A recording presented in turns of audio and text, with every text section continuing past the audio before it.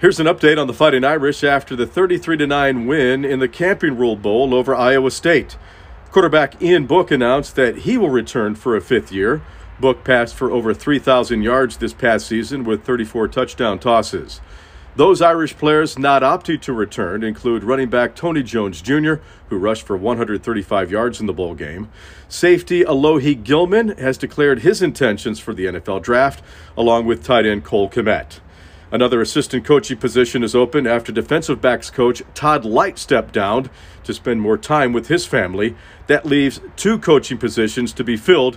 The other is the offensive coordinator position. Tom Rees is a possible candidate to fill that role. The Irish added another graduate transfer as Ben Skowronek joins the program coming from Northwestern. Notre Dame now has 88 players on scholarship and must get down to the 85 man limit by the start of the 2020 football season, which opens in Dublin, Ireland against Navy this August. For Fan Media, in Irish Illustrated, I'm Len Clark.